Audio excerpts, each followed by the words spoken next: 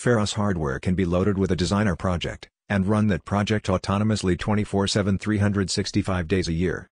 In this video I will guide you through the process of setting up your hardware. First, setting up an LPC. First step is to connect the LPC to your DMX-RDM lighting fixtures. Next, connect other integration ports to any other systems required for your project, for example serial, MIDI, digital or analog inputs. Connect the LPC to your PC directly, or via an available network, for example to control eDMX fixtures, or for integration purposes. The LPC can receive power via Power over Ethernet source. If you are not using a PoE connection, connect a 9 to 48 volts DC power supply to the DC terminals. Please do not use power over Ethernet and DC power at the same time. When receiving power, the Pharos logo will light up. The other LEDs will then cycle through a test chase. The LPC is ready when the active LED is constantly on, and the Ethernet LED is blinking at random. The LPC does have a legacy USB connection, but connecting via Ethernet is preferred. Connect your computer to the controller or controller network. To allow designer to communicate with the controller, they need to have compatible network settings. There are three different situations possible.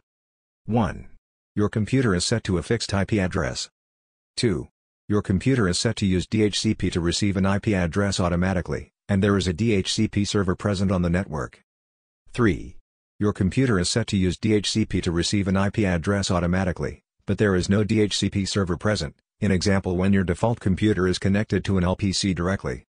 All situations are valid. In the last case, you will need to wait up to a minute before starting Designer, as your computer needs to create a self-assigned IP first. On Windows, a limited connection message indicates this process has finished, and your computer will have an IP address starting with 169.254. It can help to turn off other connections your computer may have, such as Wi-Fi, or a second Ethernet connection. After starting Designer the Network tab is visible, even without a project loaded. The controller should show up here in gray, red, or black. Gray identifies the controller has been discovered, but you need to update the LPC's network settings. Pharos controllers are shipped to receive an IP address via DHCP. In the last two situations, the controller will connect directly. In the first example, we have to change the IP address from the controller. We do this by selecting it, and choosing the configure option from the menu. This opens the hardware and IP settings for the LPC.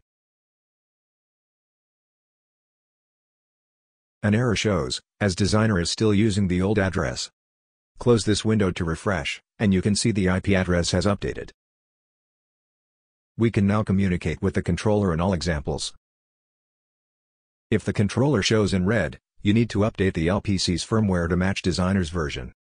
Updating is easy, just select the controller and click Reload Firmware and then Start. The controller will restart. Note that a firmware reload will not clear your network settings. Once your controller shows in black, it is ready to use. Let's connect a TPC. This can only be powered via PoE, and can only output eDMX. Powering up a new TPC, or other touch device, will show no interface set on its screen, as it has not yet been commissioned. Further steps to adjust IP address or firmware are the same as for the LPC. If you are working with a TPC and an EXT, first connect the TPC to the EXT's top port labeled TPC PoE. This needs to be a direct connection to the TPC, and not routed through an Ethernet switch. Next connect the other ports, for example DMX/RDM or DALI. Then connect the EXT to your network, or to your PC directly. Lastly connect an AC power source to the EXT's mains input. Once the EXT is powered, both the TPC and EXT will boot. The TPC and EXT are ready when the active LED is constantly on and the Ethernet LED is blinking at random.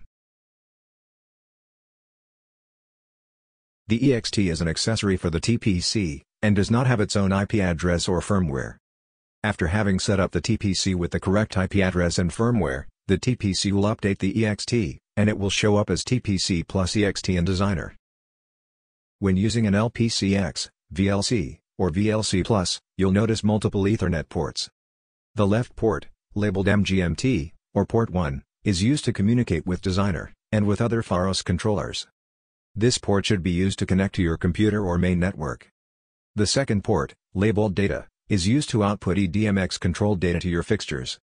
Depending on your setup this might be connected to the same, or completely separate network. After connecting the management and data ports, connect the included plug to an earthed power socket. Flip the switch, below the IEC plug, to power up the controller. Please note it can take a few seconds before the LED in the Pharos glyph will light up and the other LEDs will cycle.